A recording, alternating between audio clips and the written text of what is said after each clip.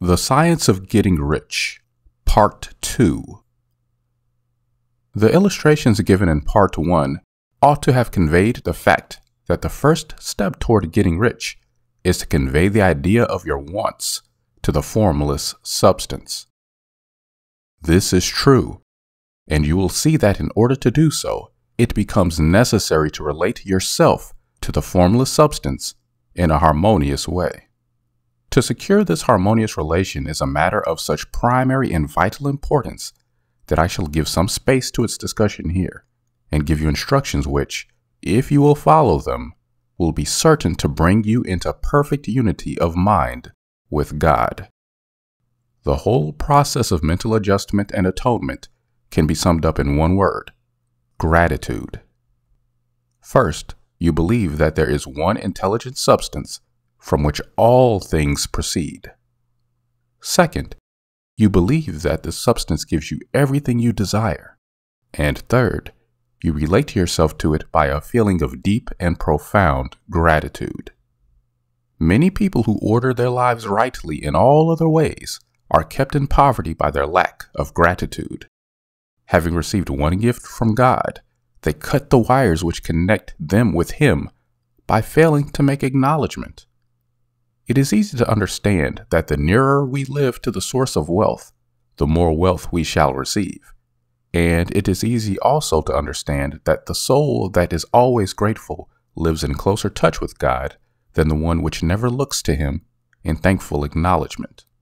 The more gratefully we fix our minds on the Supreme when good things come to us, the more good things we will receive, and the more rapidly they will come and the reason simply is that the mental attitude of gratitude draws the mind into closer touch with the source from which the blessings come. If it is a new thought to you that gratitude brings your whole mind into closer harmony with the creative energies of the universe, consider it well, and you will see that it is true. The good things you already have have come to you along the line of obedience to certain laws. Gratitude will lead your mind out along the ways by which things come and it will keep you in close harmony with creative thought and prevent you from falling into competitive thought. Gratitude alone can keep you looking toward the all and prevent you from falling into the error of thinking of the supply is limited, and to do that would be fatal to your hopes. There is a law of gratitude, and it is absolutely necessary that you should observe the law if you are to get the results you seek. The law of gratitude is the natural principle that action and reaction are always equal and in opposite directions. The grateful outreaching of your mind in thankful praise to the Supreme is a liberation or expenditure of force. It cannot fail to reach that to which it is addressed, and the reaction is an instantaneous movement towards you. Draw nigh unto God, and he will draw nigh unto you. That is a statement of psychological truth. And if your gratitude is strong and constant, the reaction in formless substance will be strong and continuous. The movement of the things you want will be always toward you.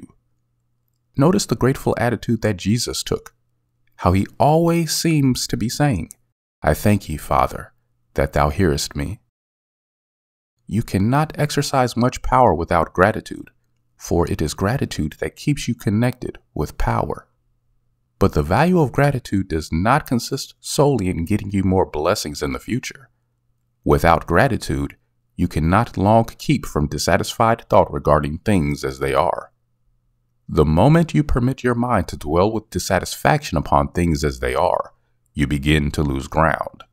You fix attention upon the common, the ordinary, the poor, and the squalid and mean and your mind takes the form of these things.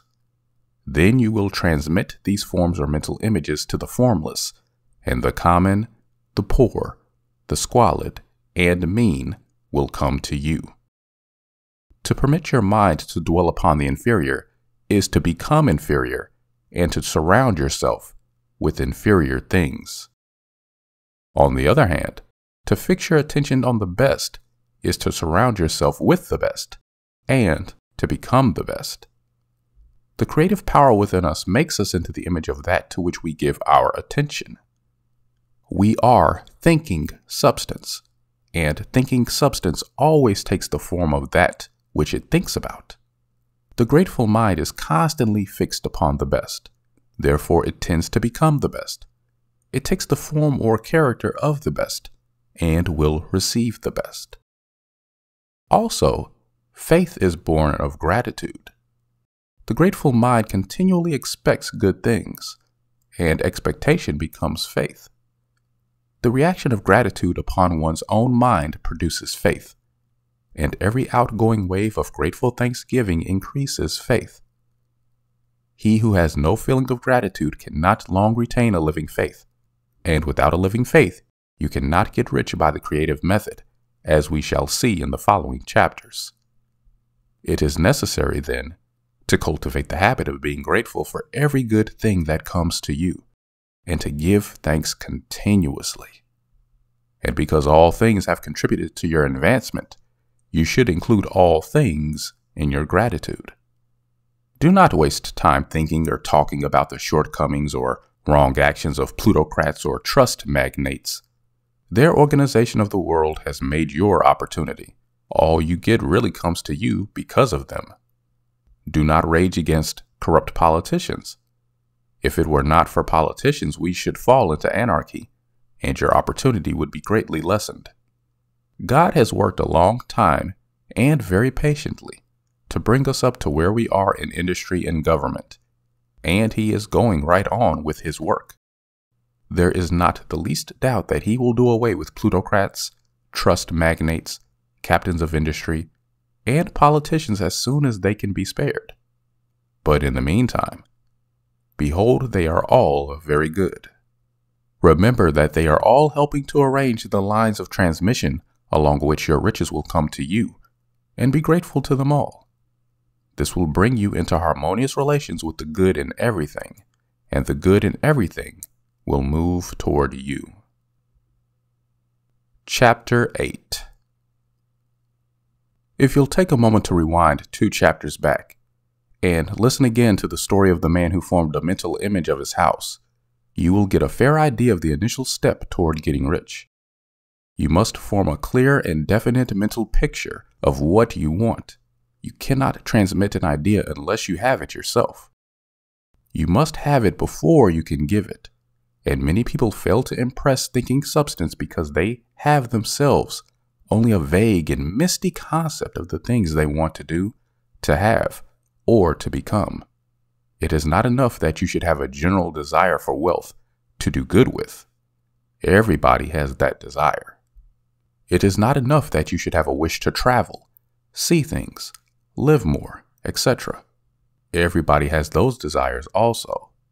If you were going to send a wireless message to a friend, you would not send the letters of the alphabet in their order and let him construct the message for himself. Nor would you take words at random from the dictionary. You would send a coherent sentence, one which meant something. When you try to impress your wants upon substance, remember that it must be done by a coherent statement. You must know what you want and be definite. You can never get rich or start the creative power into action by sending out unformed longings and vague desires. Go over your desires just as the man I have described went over his house. See just what you want and get a clear mental picture of it as you wish it to look when you get it. That clear mental picture you must have continually in mind, as the sailor has in mind the port toward which he is sailing the ship. You must keep your face toward it all the time. You must no more lose sight of it then the steersman loses sight of the compass. It is not necessary to take exercises in concentration, nor to set apart special times for prayer and affirmation, nor to go into the silence, nor to do occult stunts of any kind. Their things are well enough, but all you need is to know what you want, and to want it badly enough so that it will stay in your thoughts. Spend as much of your leisure time as you can in contemplating your picture, but no one needs to take exercises to concentrate his mind on a thing which he really wants. It is the things you do not really care about which require effort to fix your attention upon them. And unless you really want to get rich, so that the desire is strong enough to hold your thoughts directed to the purpose as the magnetic pole holds the needle of the compass, it will hardly be worthwhile for you to try to carry out the instructions given in this book.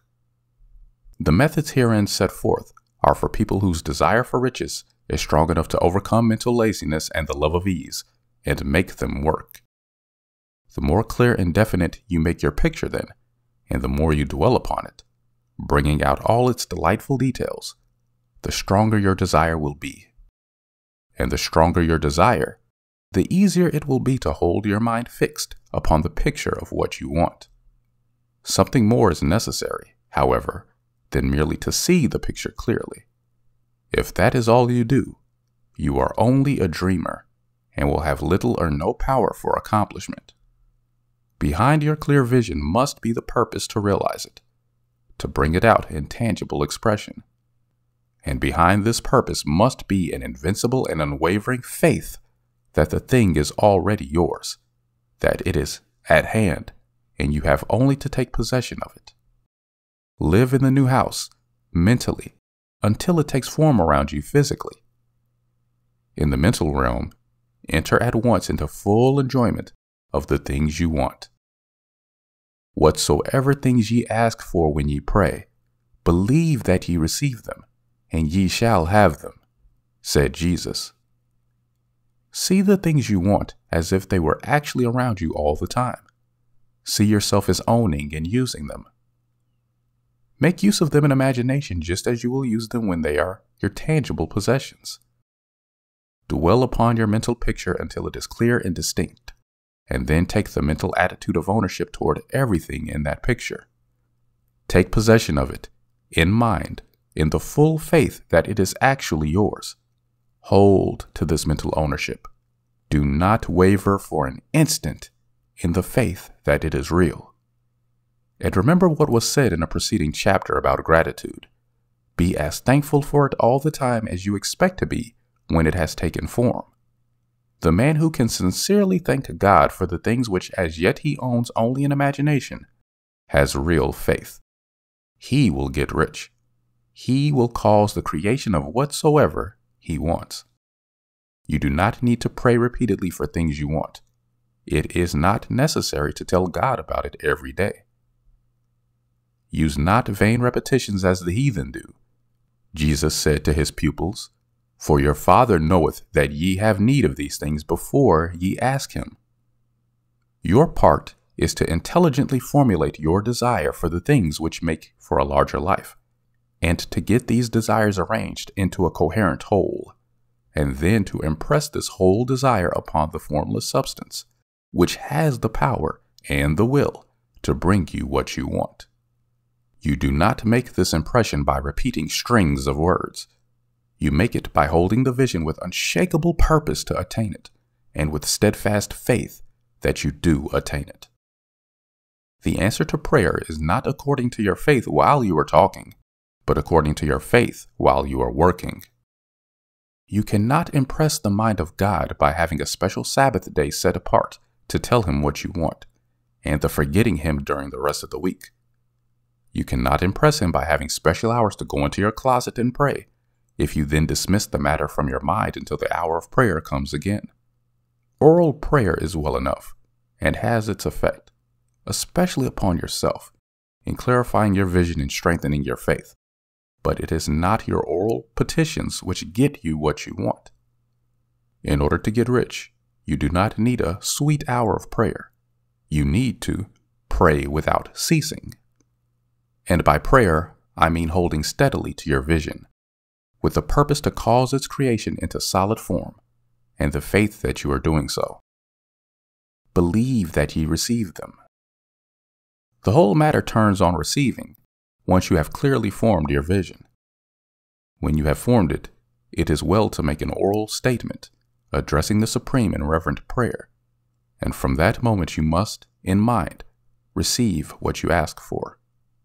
Live in the new house, wear the fine clothes, ride in the automobile, go on the journey, and confidently plan for greater journeys.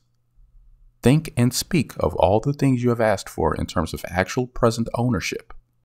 Imagine an environment and a financial condition exactly as you want them, and live all the time in that imaginary environment and financial condition. Mind, however, that you do not do this as a mere dreamer and castle builder. Hold to the faith that the imaginary is being realized and to the purpose to realize it. Remember that it is faith and purpose in the use of the imagination which make the difference between the scientist and the dreamer. And having learned this fact, it is here that you must learn the proper use of the will. Chapter 9 To set about getting rich in a scientific way, you do not try to apply your willpower to anything outside of yourself. You have no right to do so anyway. It is wrong to apply your will to other men and women in order to get them to do what you wish done.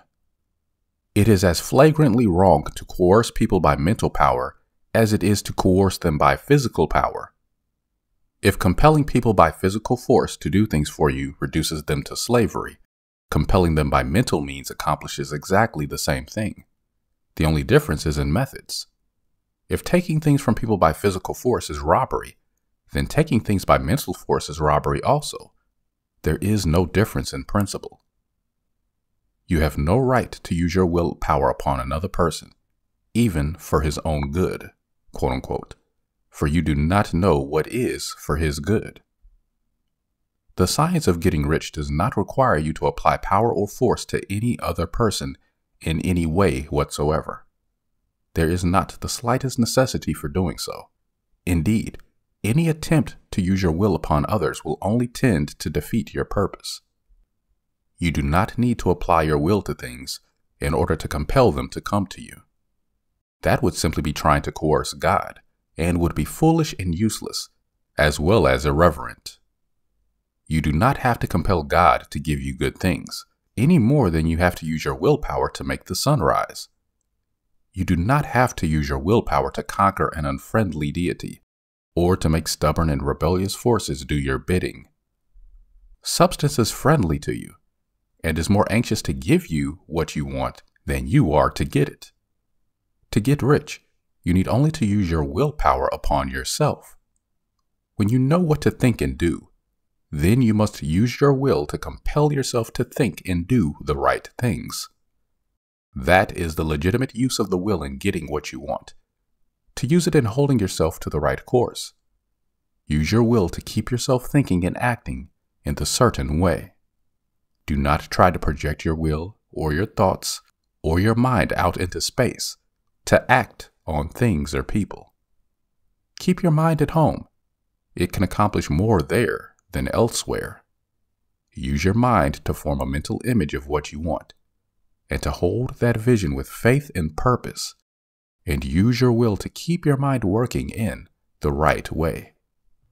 The more steady and continuous your faith and purpose, the more rapidly you will get rich, because you will make only positive impressions upon substance and you will not neutralize or offset them by negative impressions. The picture of your desires, held with faith and purpose, is taken up by the formless and permeates it to great distances throughout the universe, for all I know. As this impression spreads, all things are set moving toward its realization. Every living thing, every inanimate thing, and the things yet uncreated are stirred toward bringing into being that which you want. All force begins to be exerted in that direction. All things begin to move toward you. The minds of people, everywhere, are influenced toward doing the things necessary to the fulfilling of your desires, and they work for you unconsciously. But you can check all this by starting a negative impression in the formless substance. Doubt or unbelief is as certain to start a movement away from you as faith and purpose are to start one toward you. It is by not understanding this that most people who try to make use of mental science, quote unquote, in getting rich, make their failure. Every hour and moment you spend in giving heed to doubts and fears, every hour you spend in worry, every hour in which your soul is possessed by unbelief, sets a current away from you in the whole domain of intelligent substance. All the promises are unto them that believe, and unto them only. Notice how insistent Jesus was upon this point of belief, and now you know the reason why. Since belief is all important, it behooves you to guard your thoughts, and as your beliefs will be shaped to a very great extent by the things you observe and think about, it is important that you should command your attention. And here the will comes into use, for it is by your will that you determine upon what things your attention shall be fixed. If you want to become rich, you must not make a study of poverty. Things are not brought into being by thinking about their opposites. Health is never to be attained by studying disease and thinking about disease. Righteousness is not to be promoted by studying sin and thinking about sin. And no one ever got rich by studying poverty and thinking about poverty. Medicine as a science of disease has increased disease. Religion as a science of sin has promoted sin. And economics as a study of poverty will fill the world with wretchedness and want. Do not talk about poverty. Do not investigate it or concern yourself with it. Never mind what its causes are, you have nothing to do with them. What concerns you is the cure. Do not spend your time in charitable work or charity movements. All charity only tends to perpetuate the wretchedness it aims to eradicate. I do not say that you should be hard hearted or unkind and refuse to hear the cry of need. But you must not try to eradicate poverty in any of the conventional ways. Put poverty behind you, and put all that pertains to it behind you, and make good, quote unquote. Get rich. That is the best way you can help the poor. And you cannot hold the mental image, which is to make you rich, if you fill your mind with pictures of poverty. Do not read books or papers which give circumstantial accounts of the wretchedness of the tenement dwellers, of the horrors of child labor, and so on. Do not read anything which fills your mind with gloomy images of want and suffering. You cannot help the poor in the least by knowing about these things, and the widespread knowledge of them does not tend at all to do away with poverty, as we have seen. What tends to do away with poverty is not the getting of pictures of poverty into your mind, but getting pictures of wealth into the minds of the poor. You are not deserting the poor in their misery when you refuse to allow your mind to be filled with pictures of that misery. Poverty can be done away with, not by increasing the number of well to do people who think about poverty, but by increasing the number of poor people who purpose with faith to get rich. The poor do not need charity, they need inspiration. Charity only sends them a loaf of bread to keep them alive in their wretchedness, or gives them an entertainment to make them forget for an hour or two. But inspiration will cause them to rise out of their misery. If you want to help the poor, demonstrate to them that they can become rich. Prove it by getting rich yourself. The only way in which poverty will ever be banished from this world is by getting a large and constantly increasing number of people to practice the teachings of this book. People must be taught to become rich by creation, not by competition. Every man who becomes rich by competition throws down behind him the ladder by which he rises and keeps others down. But every man who gets rich by creation opens a way for thousands to follow him and inspires them to do so. You are not showing hardness of heart or an unfeeling disposition when you refuse to pity poverty, see poverty, read about poverty, or think or talk about it, or to listen to those who do talk about it. Use your willpower to keep your mind off the subject of poverty and to keep it fixed with faith and purpose on the vision of what you want. Chapter 10 you cannot retain a true and clear vision of wealth if you are constantly turning your attention to opposing pictures, whether they be external or imaginary. Do not tell of your past troubles of a financial nature, if you have had them. Do not think of them at all. Do not tell of the poverty of your parents or the hardships of your early life. To do any of these things is to mentally class yourself with the poor for the time being, and it will certainly check the movements of things in your direction. Let the dead bury their dead, as Jesus said. Put poverty and all things that pertain to poverty completely behind you. You have accepted a certain theory of the universe as being correct, and are resting all your hopes of happiness on its being correct. And what can you gain by giving heed to conflicting theories? Do not read religious books which tell you that the world is soon coming to an end. And do not read the writing of muckrakers and pessimistic philosophers who tell you that it is going to the devil. The world is not going to the devil. It is going to God. It is wonderful becoming. True, there may be a good many things in existing conditions which are disagreeable. But what is the use of studying them when they are certainly passing away? and when the study of them only tends to check their passing and keep them with us. Why give time and attention to things which are being removed by evolutionary growth, when you can hasten their removal only by promoting the evolutionary growth as far as your part of it goes? No matter how seemingly horrible may be the conditions in certain countries, sections, or places, you waste your time and destroy your own chances by considering them. You should interest yourself in the world's becoming rich. Think of the riches the world is coming into instead of the poverty it is growing out of.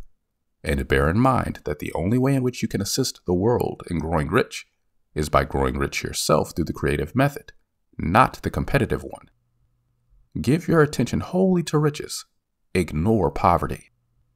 Whenever you think or speak of those who are poor, think and speak of them as those who are becoming rich as those who are to be congratulated rather than pitied. Then they and others will catch the inspiration and begin to search for the way out. Because I say that you are to give your whole time and mind and thought to riches, it does not follow that you are to be sordid or mean.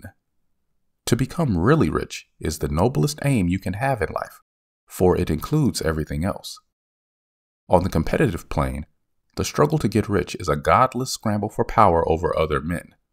But when we come into the creative mind, all this is changed. All that is possible in the way of greatness and soul unfoldment, of service and lofty endeavor, comes by way of getting rich. All is made possible by the use of things. If you lack for physical health, you will find that the attainment of it is conditional on your getting rich. Only those who are emancipated from financial worry and who have the means to live a carefree existence and follow hygienic practices can have and retain health. Moral and spiritual greatness is possible only to those who are above the competitive battle for existence, and only those who are becoming rich on the plane of creative thought are free from the degrading influences of competition. If your heart is set on domestic happiness, remember that love flourishes best where there is refinement, a high level of thought, and freedom from corrupting influences. And these are to be found only where riches are attained by the exercise of creative thought, without strife or rivalry. You can aim at nothing so great or noble, I repeat, as to become rich. And you must fix your attention upon your mental picture of riches, to the exclusion of all that may tend to dim or obscure the vision. You must learn to see the underlying truth in all things.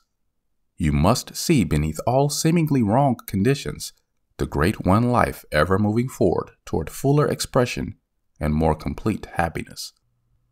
It is the truth that there is no such thing as poverty, that there is only wealth.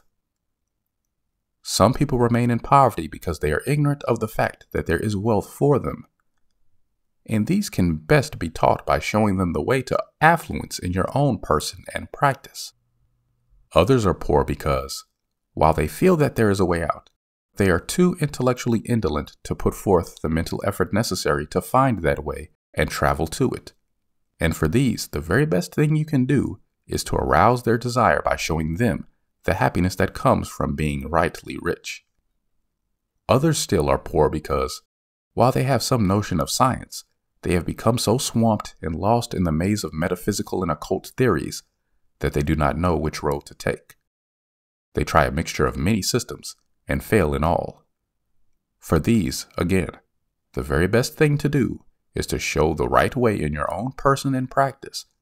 An ounce of doing things is worth a pound of theorizing. The very best thing you can do for the whole world is to make the most of yourself. You can serve God and man in no more effective way than by getting rich. That is, if you get rich by the creative method and not by the competitive one. Another thing, we assert that this book gives in detail the principles of the science of getting rich. And if that is true, you do not need to read any other book upon the subject.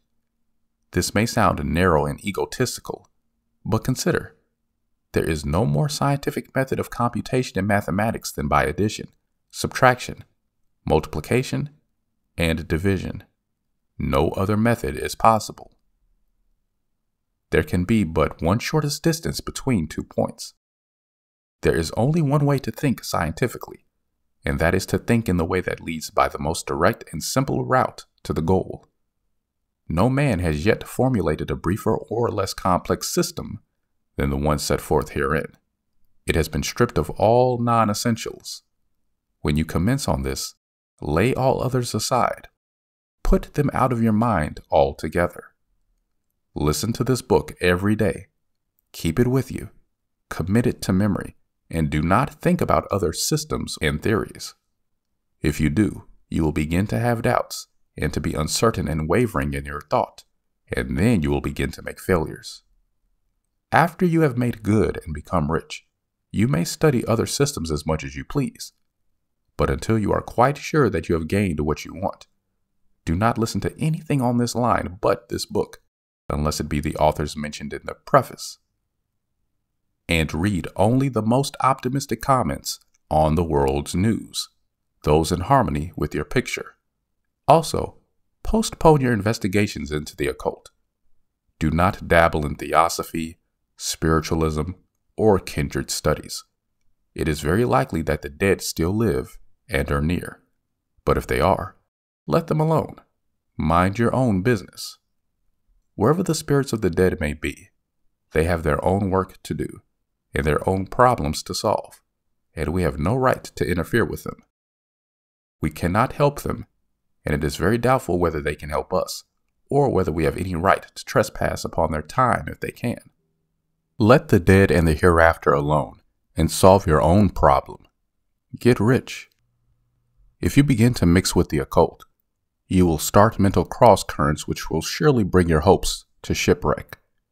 Now, this and the preceding chapters have brought us to the following statement of basic facts. There is a thinking stuff from which all things are made, and which, in its original state, permeates, penetrates, and fills the interspaces of the universe. A thought, in this substance, produces the thing that is imaged by the thought. Man can form things in his thought, and by impressing his thought upon a formless substance, can cause the thing he thinks about to be created. In order to do this, man must pass from the competitive to the creative mind. He must form a clear mental picture of the things he wants, and hold his picture in his thoughts with a fixed purpose to get what he wants, and the unwavering faith that he does get what he wants, closing his mind against all that may tend to shake his purpose dim his vision, or quench his faith. And in addition to all this, we shall now see that he must live and act in a certain way. Chapter 11 Thought is the creative power, or the impelling force which causes the creative power to act. Thinking in a certain way will bring riches to you, but you must not rely upon thought alone paying no attention to personal action. That is the rock upon which many otherwise scientific metaphysical thinkers meet shipwreck, the failure to connect thought with personal action. We have not yet reached the stage of development, even supposing such a stage to be possible, in which man can create directly from formless substance without nature's processes or the work of human hands. Man must not only think, but his personal action must supplement his thought. By thought, you can cause the gold in the hearts of the mountains to be impelled toward you. But it will not mine itself, refine itself, coin itself into double eagles, and come rolling along the roads, seeking its way into your pocket. Under the impelling power of the Supreme Spirit, men's affairs will be so ordered that someone will be led to mine the gold for you. Other men's business transactions will be so directed that the gold will be brought toward you. And you must so arrange your own business affairs that you may be able to receive it when it comes to you. Your thought makes all things, animate and inanimate, work to bring you what you want. But your personal activity must be such that you can rightly receive what you want when it reaches you. You are not to take it as charity, nor to steal it. You must give every man more in use value than he gives you in cash value. The scientific use of thought consists in forming a clear and distinct mental image of what you want, in holding fast to the purpose to get what you want, and in realizing with grateful faith that you do get what you want. Do not try to project your thought in any mysterious or occult way, with the idea of having it go out and do things for you. That is wasted effort and will weaken your power to think with sanity. The action of thought in getting rich is fully explained in the preceding chapters. Your faith and purpose positively impress your vision upon formless substance, which has the same desire for more life that you have. And this vision, received from you, sets all the creative forces at work in and through their regular channels of action, but directed toward you. It is not your part to guide or supervise the creative process. All you have to do with that is to retain your vision, stick to your purpose, and maintain your faith and gratitude. But you must act in a certain way so that you can appropriate what is yours when it comes to you, so that you can meet the things you have in your picture and put them in their proper places as they arrive. You can really see the truth of this. When things reach you, they will be in the hands of other men who will ask an equivalent for them. And you can only get what is yours by giving the other man what is his. Your pocketbook is not going to be transformed into a Fortunatus purse, which shall always be full of money without effort on your part. This is the crucial point in the science of getting rich, right here, where thought and personal action must be combined. There are very many people who, consciously or unconsciously, set the creative forces in action by the strength and persistence of their desires, but who remain poor because they do not provide for the reception of the thing they want when it comes. By thought, the thing you want is brought to you. By action, you receive it. Whatever your action is to be, it is evident that you must act now. You cannot act in the past, and it is essential to the clearness of your mental vision that you dismiss the past from your mind. You cannot act in the future, for the future is not here yet. And you cannot tell how you will want to act in any future contingency until that contingency has arrived. Because you are not in the right business or the right environment now, do not think that you must postpone action until you get into the right business or environment. And do not spend time in the present taking thought as to the best course in possible future emergencies. Have faith in your ability to meet any emergency when it arrives. If you act in the present with your mind on the future, your present action will be with a divided mind and will not be effective. Put your whole mind into present action. Do not give your creative impulse to original substance and then sit down and wait for results. If you do, you will never get them. Act now. There is never any time but now, and there will never be any time but now. If you are ever to begin to make ready for the reception of what you want, you must begin now. And your action, whatever it is, must most likely be in your present business or employment, and must be upon the persons and things in your present environment. You cannot act where you are not. You cannot act where you have been, and you cannot act where you are going to be. You can act only where you are. Do not bother as to whether yesterday's work was well done or ill done. Do today's work well. Do not try to do tomorrow's work now. There will be plenty of time to do that when you get to it. Do not try, by occult or mystical means, to act on people or things that are out of your reach. Do not wait for a change of environment before you act. Get a change of environment by action. You can so act upon the environment in which you are now as to cause yourself to be transferred to a better environment. Hold with faith and purpose the vision of yourself in the better environment, but act upon your present environment with all your heart and with all your strength and with all your mind. Do not spend any time in daydreaming or castle building. Hold to the one vision of what you want and act now. Do not cast about seeking some new things to do or some strange, unusual, or remarkable action to perform as a first step toward getting rich. It is probable that your actions, at least for some time to come, will be those you have been performing for some time past. But you are to begin now to perform these actions in a certain way, which will surely make you rich. If you are engaged in some business and feel that it is not the right one for you, do not wait until you get into the right business before you begin to act. Do not feel discouraged or sit down and lament because you are misplaced. No man was ever so misplaced that he could not find the right place. And no man ever became so involved in the wrong business that he cannot get into the right business. Hold the vision of yourself in the right business with the purpose to get into it and the faith that you will get into it and are getting into it. But act in your present business.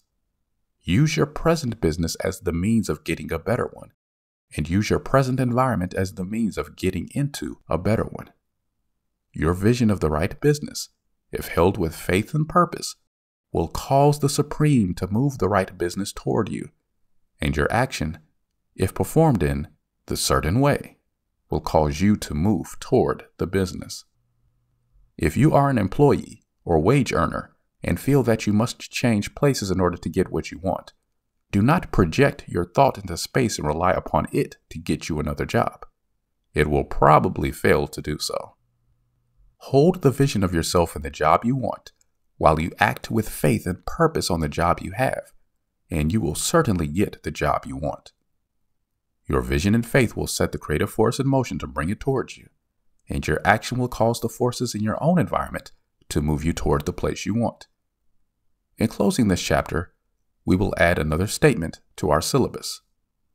There is a thinking stuff from which all things are made, and which, in its original state, permeates, penetrates, and fills the interspaces of the universe. A thought, in this substance, produces the thing that is imaged by the thought. Man can form things in his mind, and, by impressing his thought upon formless substance, can cause the thing he thinks about to be created. In order to do this, man must pass from the competitive to the creative mind. He must form a clear mental picture of the things he wants, and hold this picture in his thoughts with the fixed purpose to get what he wants, and the unwavering faith that he does get what he wants closing his mind to all that may tend to shake his purpose, dim his vision, or quench his faith. Chapter 12 You must use your thought as directed in previous chapters and begin to do what you can do where you are. And you must do all that you can do where you are. You can advance only by being larger than your present place, and no man is larger than his present place who leaves undone any of the work pertaining to that place. The world is advanced only by those who more than fill their present places. If no man quite filled his present place, you can see that there must be a going backward in everything. Those who do not quite fill their present places are dead weight upon society, government, commerce, and industry. They must be carried along by others at a great expense. The progress of the world is slowed only by those who do not fill the places they are holding. They belong to a former age and a lower stage or plane of life, and their tendency is toward degeneration. No society could advance if every man was smaller than his place. Social evolution is guided by the law of physical and mental evolution. In the animal world, Evolution is caused by excess of life. When an organism has more life than can be expressed in the functions of its own plane, it develops the organs of a higher plane and a new species is originated. There never would have been new species had there not been organisms which more than filled their places. The law is exactly the same for you. Your getting rich depends upon your applying this principle to your own affairs. Every day is either a successful day or a day of failure and it is the successful days which get you what you want. If every day is a failure, you can never get rich, while if every day is a success, you cannot fail to get rich. If there is something that may be done today, and you do not do it, you have failed insofar as that thing is concerned, and the consequences may be more disastrous than you imagine. You cannot foresee the results of even the most trivial act you do not know the workings of all the forces that have been set moving in your behalf. Much may be depending on your doing some simple act. It may be the very thing which is to open the door of opportunity to very great possibilities. You can never know all the combinations which supreme intelligence is making for you in the world of things and of things and of human affairs. Your neglect or failure to do some small thing may cause a long delay in getting what you want do every day all that can be done that day. There is, however, a limitation or qualification of the above that you must take into account. You are not to overwork, nor to rush blindly into your business in the effort to do the greatest possible number of things in the shortest time possible. You are not to try to do tomorrow's work today, nor to do a week's work in a day. It is really not the number of things you do but the efficiency of each separate action that counts. Every act is, in itself, either a success or a failure. Every act is, in itself, either effective or inefficient. Every inefficient act is a failure, and if you spend your life in doing inefficient acts, your whole life will be a failure. The more things you do, the worse for you if all your acts are inefficient ones. On the other hand, every efficient act is a success in itself. And if every act of your life is an efficient one, your whole life must be a success. The cause of failure is doing too many things in an inefficient manner and not doing enough things in an efficient manner. You will see that it is a self evident proposition that if you do not do any inefficient acts, and if you do a sufficient number of efficient acts, you will become rich.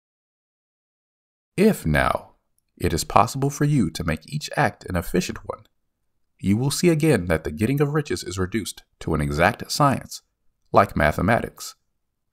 The matter turns, then, on the questions whether you can make each separate act a success in itself. And this you can certainly do. You can make each act a success because all power is working with you, and all power cannot fail. Power is at your service, and to make each act efficient, you have only to put power into it.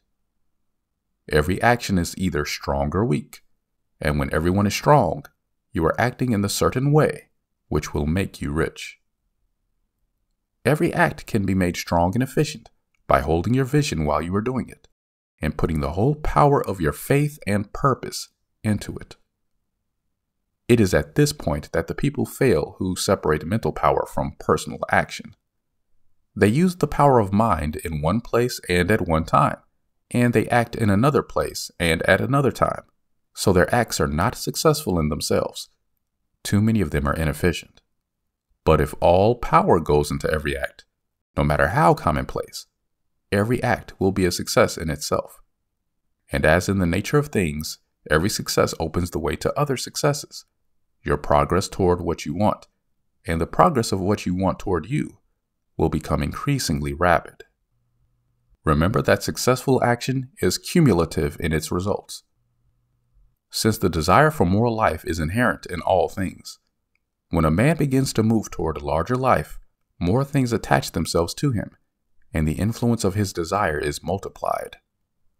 Do, every day, all that you can do that day and do each act in an efficient manner. In saying that you must hold your vision while you are doing each act, however trivial or commonplace, I do not mean to say that it is necessary at all times to see the vision distinctly to its smallest details. It should be the work of your leisure hours to use your imagination on the details of your vision and to contemplate them until they are firmly fixed upon memory. If you wish speedy results, spend practically all your spare time in this practice. By continuous contemplation, you will get the picture of what you want, even to the smallest details, so firmly fixed upon your mind, and so completely transferred to the mind of formless substance, that in your working hours you need only to mentally refer to the picture to stimulate your faith and purpose, and cause your best effort to be put forth. Contemplate your picture in your leisure hours until your consciousness is so full of it that you can grasp it instantly you will become so enthused with its bright promises that the mere thought of it will call forth the strongest energies of your whole being. Let us again repeat our syllabus, and by slightly changing the closing statements, bring it to the point we have now reached. There is a thinking stuff from which all things are made, and which, in its original state, permeates, penetrates, and fills the interspaces of the universe. A thought in this substance produces the thing that is imaged by the thought. Man can form things in his thought, and, by impressing his thought upon formless substance, can cause the thing he thinks about to be created. In order to do this, man must pass from the competitive to the creative mind. He must form a clear mental picture of the things he wants and do, with faith and purpose, all that can be done each day, doing each separate thing in an efficient manner.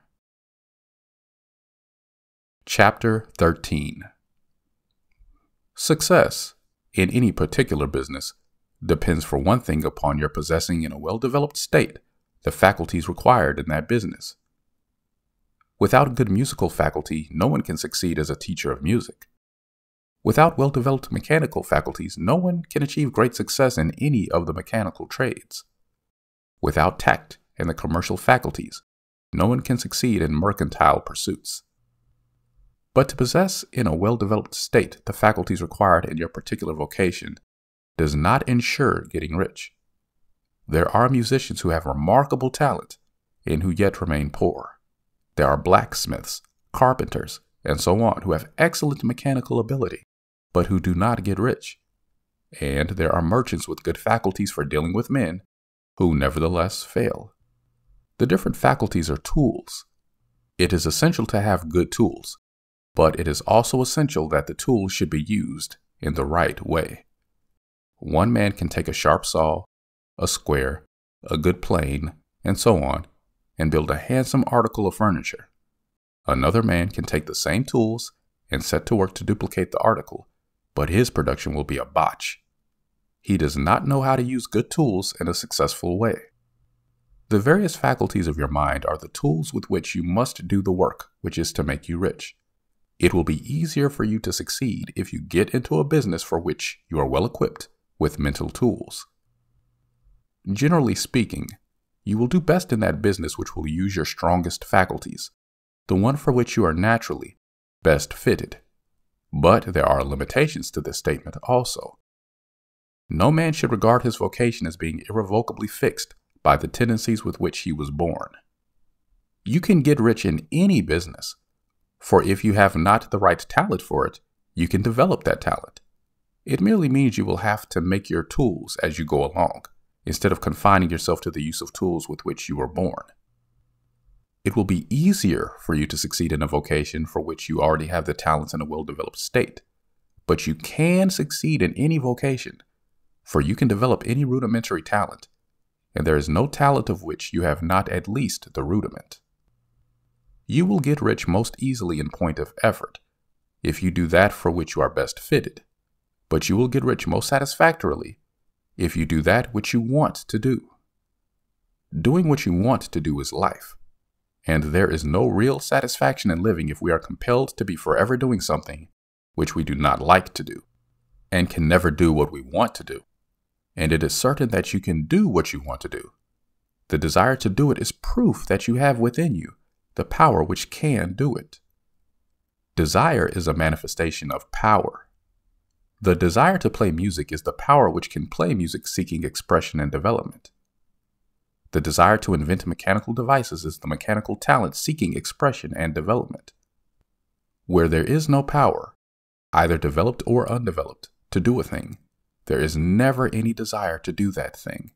And where there is strong desire to do a thing, it is certain proof that the power to do it is strong and only requires to be developed and applied in the right way. All things else being equal, it is best to select the business for which you have the best developed talent.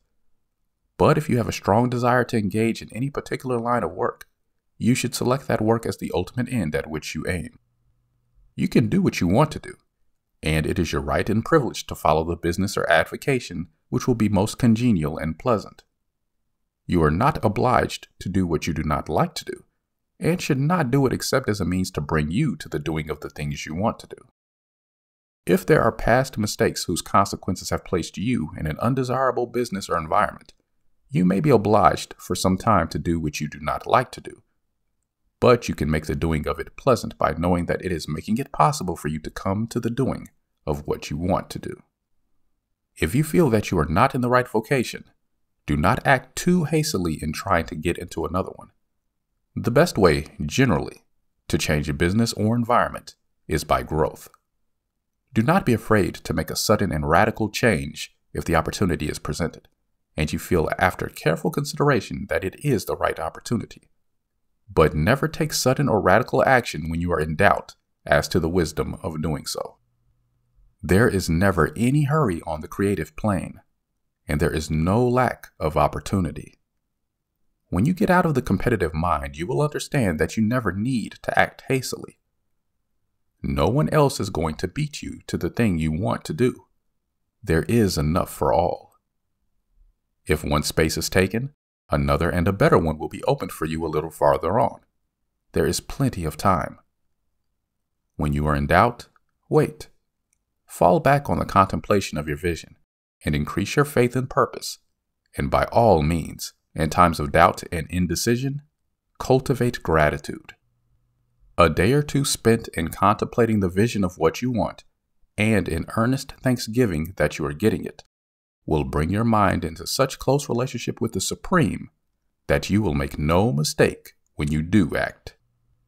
There is a mind which knows all there is to know, and you can come into close unity with this mind by faith and the purpose to advance in life if you have deep gratitude.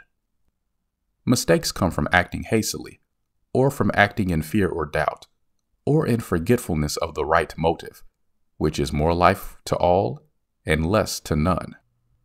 As you go on in the certain way, opportunities will come to you in increasing number, and you will need to be very steady in your faith and purpose, and to keep in close touch with the All Mind by reverent gratitude. Do all that you can do in a perfect manner every day, but do it without haste, worry, or fear. Go as fast as you can, but never hurry. Remember that in the moment you begin to hurry, you cease to be a creator and become a competitor. You drop back upon the old plane again. Whenever you find yourself hurrying, call a halt. Fix your attention on the mental image of the thing you want and begin to give thanks that you are getting it. The exercise of gratitude will never fail to strengthen your faith and renew your purpose. Chapter 14 Whether you change your vocation or not, your actions for the present must be those pertaining to the business in which you are now engaged. You can get into the business you want by making constructive use of the business you are already established in, by doing your daily work in a certain way. And insofar as your business consists in dealing with other men, whether personally or by letter, the key thought of all your efforts must be to convey to their minds the impression of increase. Increase is what all men and all women are seeking. It is the urge of the formless intelligence within them, seeking fuller expression. The desire for increase is inherent in all nature. It is the fundamental impulse of the universe. All human activities are based on the desire for increase. People are seeking more food, more clothes, better shelter, more luxury, more beauty, more knowledge, more pleasure, increase in something, more life. Every living thing is under this necessity for continuous advancement. Where increase of life ceases, dissolution and death set in at once. Man instinctively knows this, and hence he is forever seeking more. This law of perpetual increase is set forth by Jesus in the parable of the talents. Only those who gain more retain any. From him who has not shall be taken away even that which he has. The normal desire for increased wealth is not an evil or reprehensible thing. It is simply the desire for more abundant life. It is aspiration. And because it is the deepest instinct of their natures, all men and women are attracted to him who can give them more of the means of life. In following the certain way, as described in the foregoing pages, you are getting continuous increase for yourself, and you are giving it to all with whom you deal. You are a creative center from which increase is given off to all. Be sure of this, and convey assurance of the fact to every man, woman, and child with whom you come in contact. No matter how small the transaction, even if it be only the selling of a stick of candy to a little child, put into it the thought of increase and make sure that the customer is impressed with the thought. Convey the impression of advancement with everything you do, so that all people shall receive the impression that you are an advancing man and that you advance all who deal with you, even to the people whom you meet in a social way without any thought of business and to whom you do not try to sell anything. Give the thought of increase. You can convey this impression by holding the unshakable faith that you, yourself, are the way of increase, and by letting this faith inspire, fill, and permeate every action. Do everything that you do in the firm conviction that you are an advancing personality and that you are giving advancement to everybody. Feel that you are getting rich and that in so doing you are making others rich and conferring benefits on all. Do not boast or brag of your success or talk about it unnecessarily. True faith is never boastful. Wherever you find a boastful person, you find one who is secretly doubtful and afraid. Simply feel the faith and let it work out in every transaction. Let every act and tone and look express the quiet assurance that you are getting rich, that you are already rich. Words will not be necessary to communicate this feeling to others. They will feel the sense of increase when in your presence and will be attracted to you again. You must so impress others that they will feel that in associating with you, they will get increase for themselves. See that you give them a use value greater than the cash value you are taking from them. Take an honest pride in doing this and let everybody know it, and you will have no lack of customers. People will go where they are given increase, and the Supreme, which desires increase in all, and which knows all, will move toward you, men and women who have never heard of you. Your business will increase rapidly, and you will be surprised at the unexpected benefits which will come to you. You will be able from day to day to make larger combinations, secure greater advantages, and to go on into a more congenial vocation if you desire to do so. But in doing all this, you must never lose sight of your vision of what you want or your faith and purpose to get what you want. Let me here give you another word of caution in regard to motives. Beware of the insidious temptation to seek for power over other men. Nothing is so pleasant to the unformed or partially developed mind as the exercise of power or dominion over others. The desire to rule for selfish gratification has been the curse of the world. For countless ages, kings and lords have drenched the earth with blood in their battles to extend their dominions, not to seek more life for all, but to get more power for themselves. Today, the main motive in the business and industrial world is the same. Men marshal their armies of dollars and lay waste the lives and hearts of millions in the same mad scramble for power over others. Commercial kings, like political kings, are inspired by the lust for power.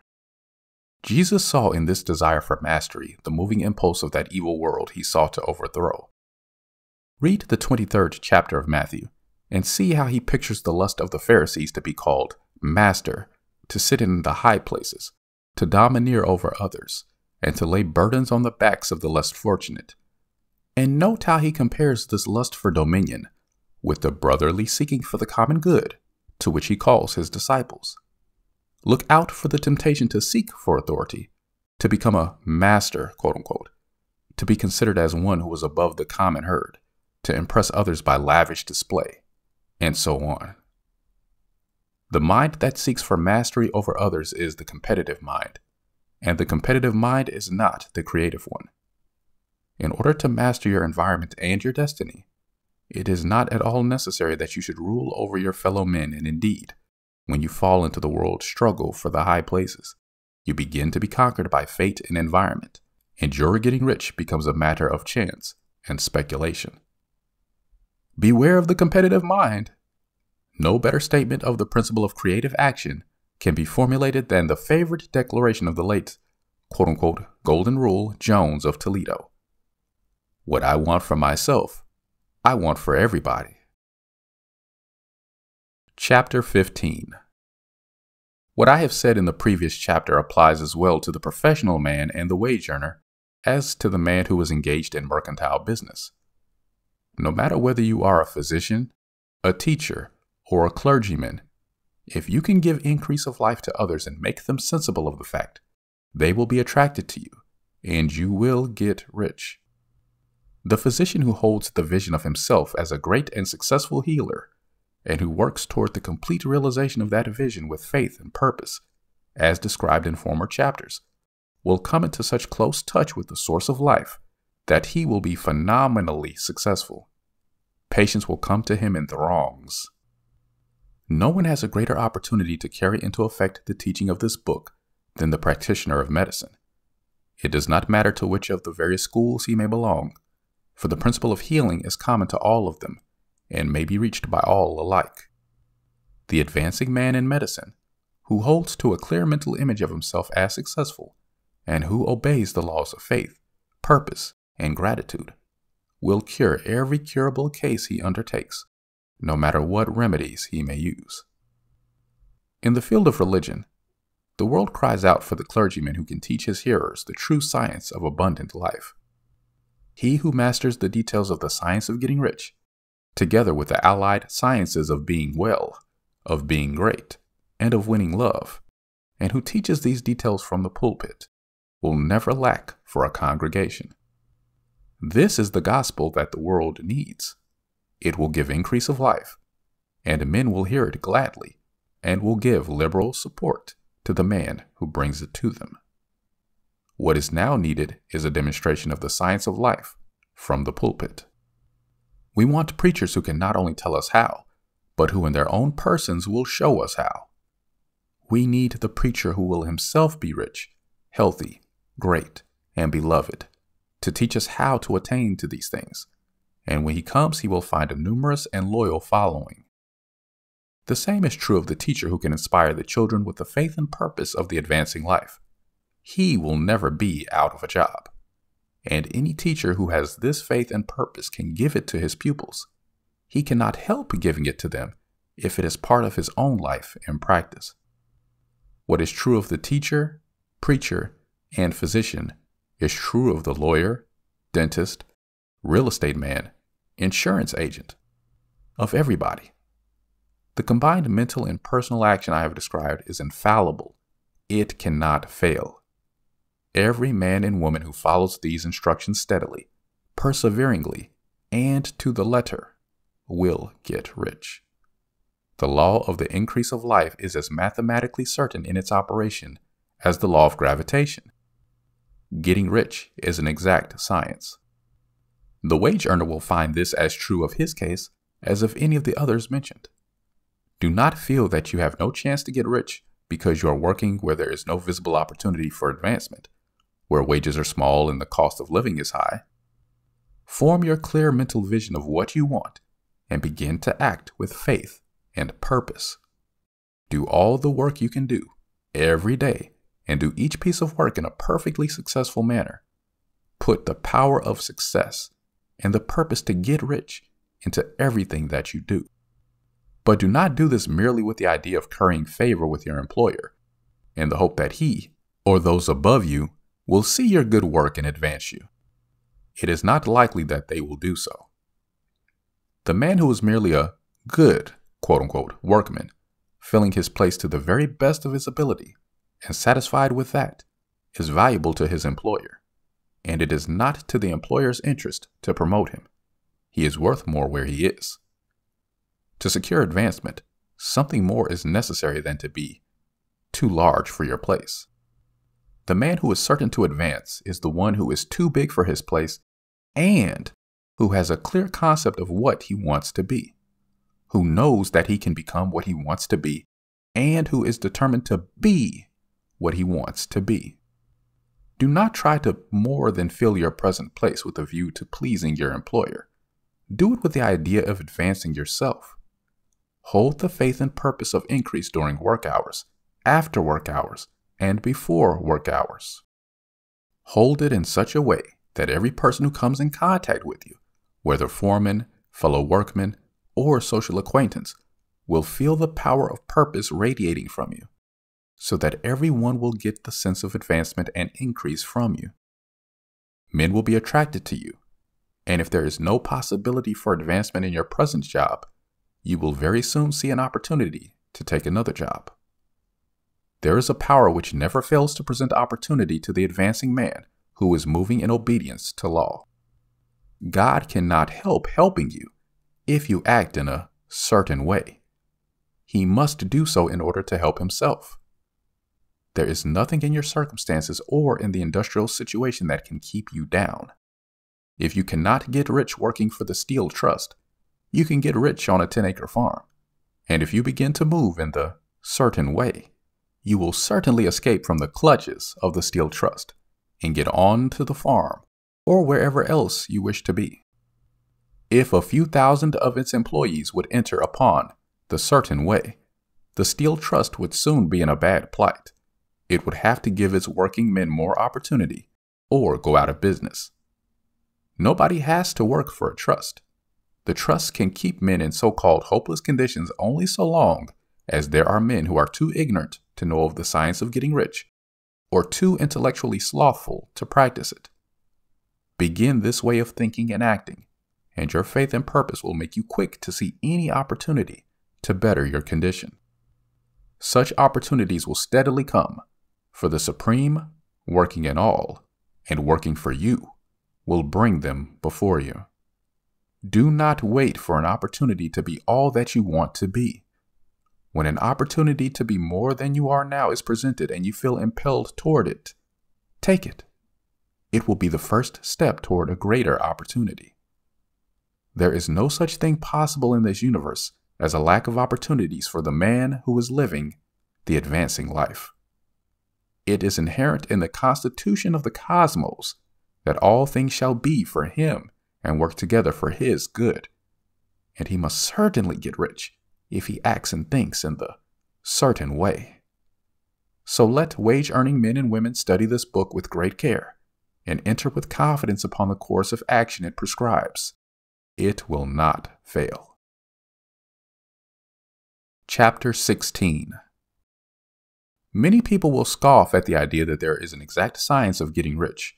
Holding the impression that the supply of wealth is limited, they will insist that social and governmental institutions must be changed before even any considerable number of people can acquire a competence. But this is not true. It is true that existing governments keep the masses in poverty, but this is because the masses do not think and act in the certain way. If the masses begin to move forward as suggested in this book, neither governments nor industrial systems can check them. All systems must be modified to accommodate the forward movement. If the people have the advancing mind, have the faith that they can become rich, and move forward with the fixed purpose to become rich, nothing can possibly keep them in poverty. Individuals may enter upon the certain way at any time and under any government and make themselves rich. And when any considerable number of individuals do so under any government, they will cause the system to be so modified as to open the way for others. The more men who get rich on the competitive plane, the worse for others. The more who get rich on the creative plane, the better for others. The economic salvation of the masses can only be accomplished by getting a large number of people to practice the scientific methods set down in this book and become rich. These will show others the way and inspire them with the desire for real life, with the faith that it can be attained, and with the purpose to attain it. For the present, however, it is enough to know that neither the government under which you live nor the capitalistic or competitive system of industry can keep you from getting rich. When you enter upon the creative plane of thought, you will rise above all these things and become a citizen of another kingdom. But remember that your thought must be held upon the creative plane. You are never for an instant to be betrayed into regarding the supply as limited or into acting on the moral level of competition. Whenever you do fall into old ways of thought, correct yourself instantly. For when you are in the competitive mind, you have lost the cooperation of the mind of the whole. Do not spend any time in planning as to how you will meet possible emergencies in the future, except as the necessary policies may affect your actions today. You are concerned with doing today's work in a perfectly successful manner, and not with emergencies which may arise tomorrow. You can attend to them as they come. Do not concern yourself with questions as to how you shall surmount obstacles which may loom upon your business horizon, unless you can see plainly that your course must be altered today in order to avoid them. No matter how tremendous an obstruction may appear at a distance, you will find that if you go on in the certain way, it will disappear as you approach it, or that a way over, through, or around it will appear. No possible combination of circumstances can defeat a man or woman who is proceeding to get rich along strictly scientific lines. No man or woman who obeys the law can fail to get rich, any more than one can multiply two by two and fail to get four. Give no anxious thought to possible disasters, obstacles, panics, or unfavorable combinations of circumstances. It is time enough to meet such things when they present themselves before you in the immediate present, and you will find that every difficulty carries with it the wherewithal for its overcoming. Guard your speech. Never speak of yourself, your affairs, or of anything else in a discouraged or discouraging way. Never admit the possibility of failure, or speak in a way that infers failure as a possibility.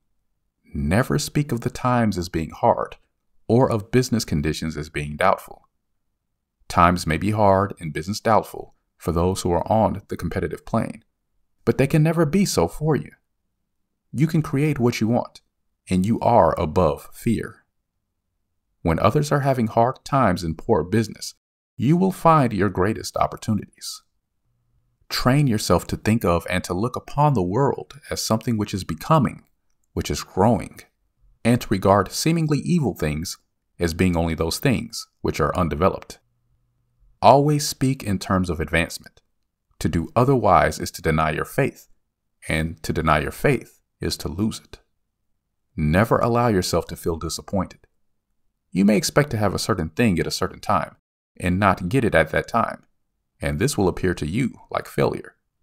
But if you hold to your faith, you will find that the failure is only apparent. Go on in the certain way, and if you do not receive that thing, you will receive something so much better that you will see that the seeming failure was really a great success.